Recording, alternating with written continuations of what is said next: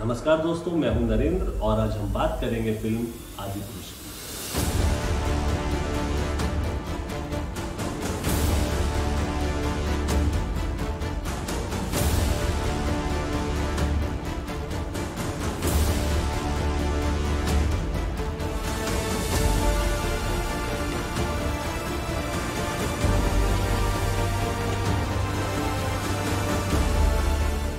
आइए बात करते हैं पहले स्टार कास्ट की। आदि पुरुष में लीड रोल में है प्रभास कृति सेनन सैफ अली खान सन्नी सिंह और वत्सल सेठ फ़िल्म को डायरेक्ट किया है ओम राव आइए बात करते हैं आदि पुरुष की कहानी।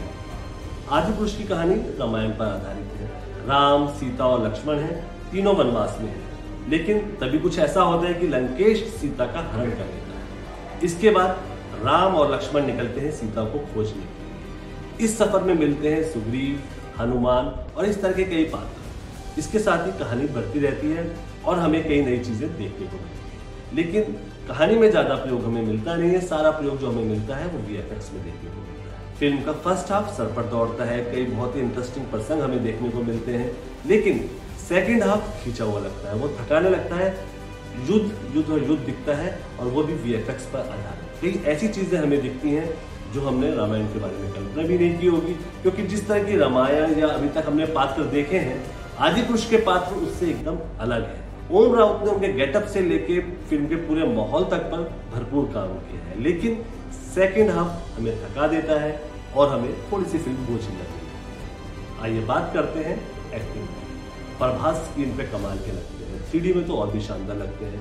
लेकिन जैसे ही कैमरा उनके फेस पर जाता है एक्सप्रेशन एकदम से गायब मिलते हैं। कुछ ऐसा ही कृति सेनन के साथ भी है। देखने में अच्छी लगती हैं, किरदार में भी जचती है, लेकिन एक्सप्रेशन के मामले में चूक जाती है। शायद इसकी एक वजह वी हो सकता है, जहाँ किरदार सामने नहीं होते, कई बार चीज़ें उस तरह की नहीं होती जैसी हमें स्क्रीन पर नज़र आती है। लेकिन इस फ़िल्म का जो एक्स फैक्टर है, वो है सैफ अली खान। सैफ अली खान ने रावण के किरदार को जिस तरीके से पर्दे पे ज़िंदा किया है, वो कमाल का है।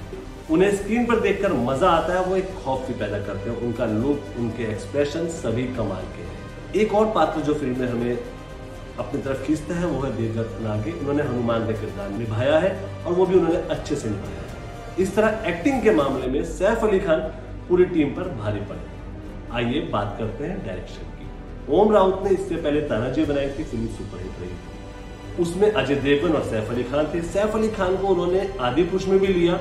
और भरपूर उनका फ़ायदा उठाया और एक्टर के तौर पर सैफ अली खान दो कदम आगे निकल कर आते हैं। लेकिन रामायण की कहानी में ओम राउत क्या नया दिखा सकते थे उनके सामने, यही बड़ा सवाल था। और उन्होंने इस सवाल का जवाब ढूंढा वी एफ़ में। उन्होंने वी एफ़ एक्स का भरपूर सहारा लिया, उन्होंने कुछ इस तरह के सीन क्रिएट किए जो हमने पहले कभी नहीं देखे थे, या कहें सिर्फ़ हॉलीवुड की फ़िल्मों या वेब सीरीज़ में देखे गए थे। उन्होंने पूरी तरीके से पूरा माहौल ही चेंज करके रख दिया। इस तरह का माहौल जो रामायण में पहले कभी नहीं देखा। लेकिन फ़िल्म की एडिटिंग हमें तंग कर जाती है। फ़िल्म लंबी हो जाती है और सेकंड हाफ़ खींचा हुआ लगता है। इसी वजह से फ़िल्म में मज़ा खराब होने लगता है क्योंकि फ़िल्म की कहानी हम जानते हैं। वीएफएक्स पहले हाफ़ में शानदार लगता है, लेकिन सेकेंड हाफ़ में चीज़ें रिपीटेटिव लगने लगती है। कुल मिलाकर उन्होंने एक अच्छी कोशिश की है। आइए बात करते हैं वर्डिंग आदि पुरुष रामायण पर आधारित है। एक ऐसी कहानी जो हम हर साल रामलीला में देखते हैं और ये बचपन से सुनते भी आए हैं। तो उसमें क्या नयापन हो सकता था? तो ओम राउत ने इसका जवाब वीएफएक्स से दिया। लेकिन वीएफएक्स फ़िल्म में कमज़ोर है। वो उस तरह का जादू पैदा नहीं कर पाते जैसी उम्मीद थी। लेकिन फ़िल्म का बैकग्राउंड म्यूज़िक कमाल का है। वो बाँध के रखता है। कुल मिलाकर आदि पुरुष एक एवरेज फ़िल्म के तौर पर आती है। लेकिन एक बात जो इस फ़िल्म का एक्स फैक्टर वो है सैफ अली खान। और सैफ अली खान की वजह से इस एवरेज फ़िल्म को हमारी तरफ़ से दो स्टार फिर मिलते हैं नए फ़िल्म और नए रिव्यू के साथ। शुक्रिया।